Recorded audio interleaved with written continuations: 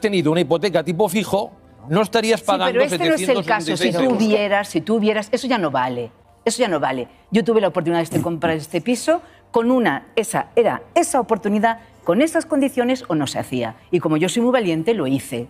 Y estuve seis meses pagando 997 Una barbaridad. euros. Una barbaridad. Con dos trabajos, 30%, un niño ¿eh? pequeño, madre Recomendable. soltera y mis hermanas me traían la comida.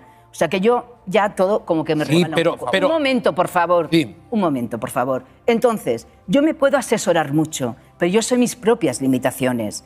Y lo que yo no voy a hacer es porque yo tengo un trabajo, que afortunadamente yo trabajo, es que yo no, tenga que, no pueda vivir dignamente. ¿Qué es esto? Muy bien. Pero a ver, Muy Yolanda. bien. Muy bien.